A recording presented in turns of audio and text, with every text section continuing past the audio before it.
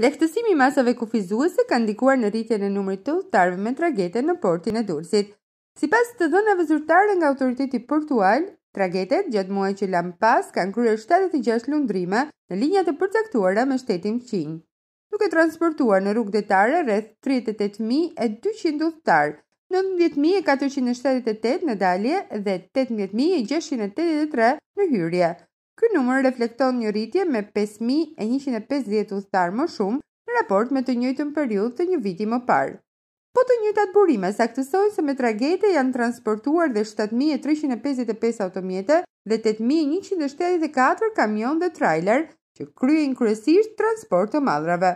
Ky trend rritës lidhet edhe me afrimin e sezonit veror, gjatë të cilit aplikohen masa shtesë të shërbimeve në këtë terminal për përballimin e fluksit të hyrjeve dhe daljeve.